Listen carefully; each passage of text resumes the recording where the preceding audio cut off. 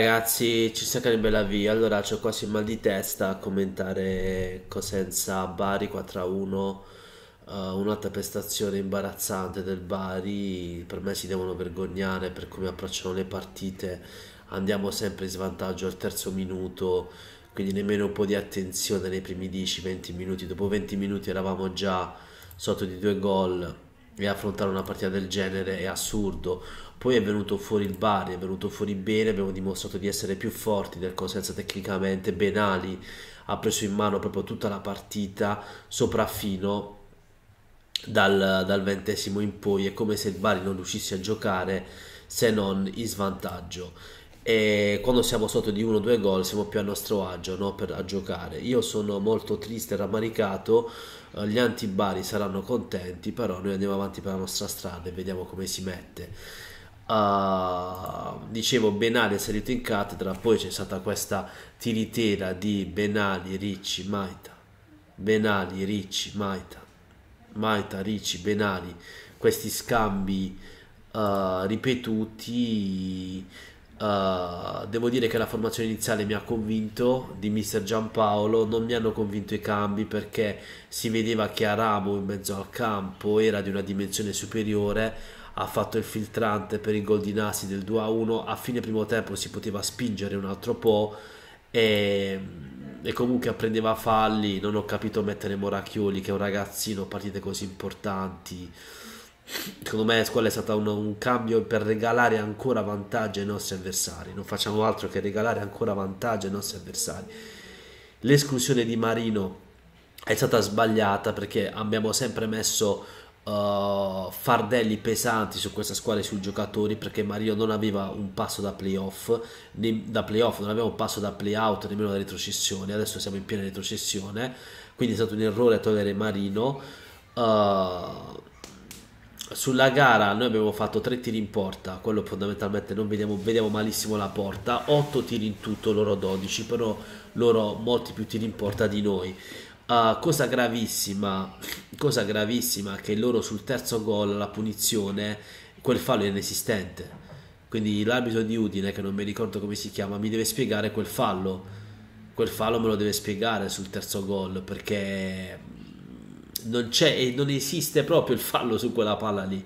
Poi loro indovinano la, la punizione del secolo con Calo, bravo lui, e questa è la, la sfortuna che c'ha Tanaglia perché questi ha fatto una punizione alla, alla, alla, non lo so, alla Roberto Baggio, e però quel fallo non c'era, quarto gol non si pensa nemmeno.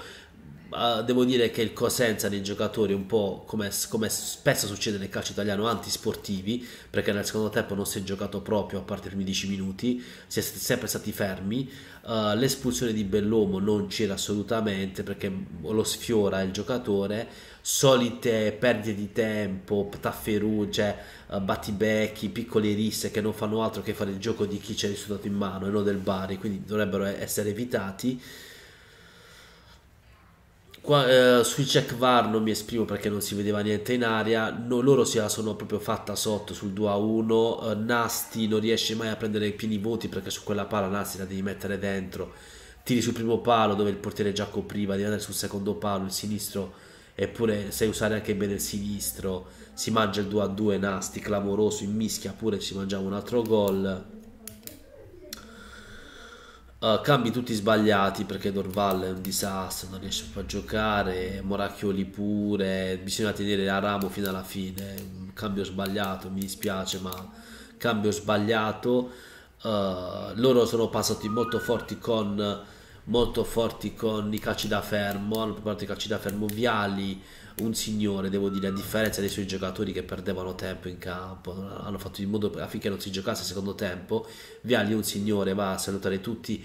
Di Cesare ancora piangente in, camp- in campo, purtroppo ci piange il cuore a vedere un uomo, un giocatore che ha fatto tanto per il Bari e che non è stato ripagato dal, dalla carriera, non è ripagato dalla carriera, adesso si va a Cittadella sabato prossimo è un'altra partita difficile però adesso cioè, adesso l'Ascoli ha vinto anche adesso è difficilissimo perché l'Ascoli ha vinto a Terni ci sono quattro squadre in pochi punti di queste quattro squadre solo una si salverà delle altre tre una va in, in, eliminazione diretta, recessione diretta e due vanno a fare i playout.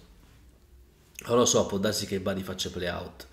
Vediamo perché mancano tre partite, uh, credo Cittadella, uh, Brescia e Parma, credo se non sbaglio.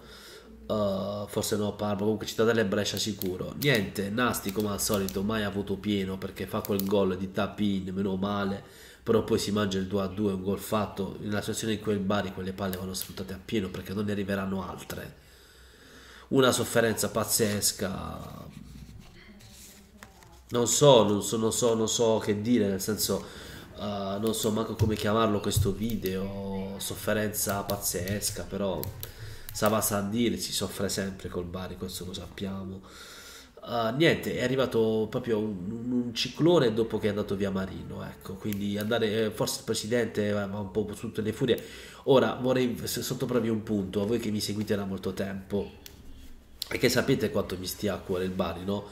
Cioè, io non vorrei che i giocatori stessero giocando contro la società a questo punto perché non me lo spiego, perché il Bari ha giocatori forti, si è visto oggi che siamo più forti del Cosenza, senza nessun dubbio, per chi vede calcio c'è giocatori come Benali, Aramo, Sibili, Moracchioli, Nasti, sono più forti di, uh, dei giocatori del Cosenza, di, che sono giocatori di forte, Tutino, Marras, Calo, che comunque ha dimostrato tecnica, ma tolto Calo e Marras c'è poco altro.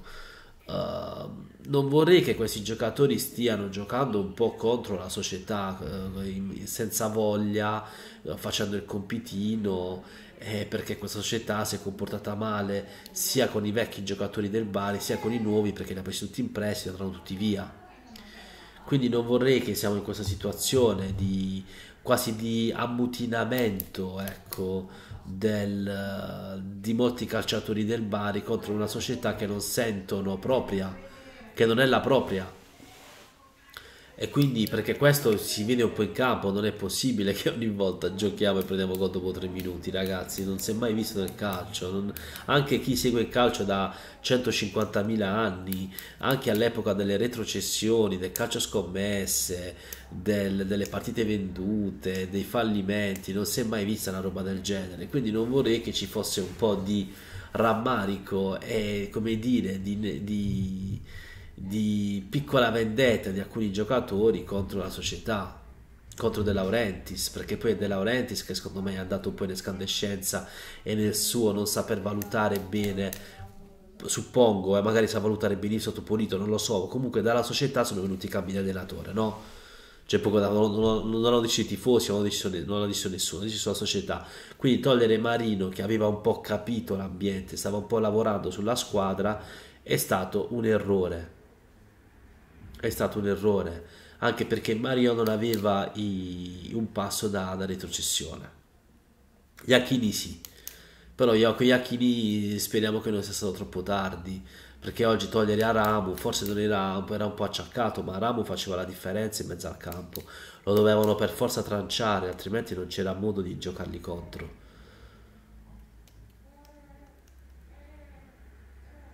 non lo so ragazzi il Bari va seguito sempre ovunque quindi non è questione di non è questione però uh, Ricci, Maita Ricci, Maita Ricci, Maita, Benali, Maita, Benali, Ricci, Ricci, Maita. È duro andare avanti così, no?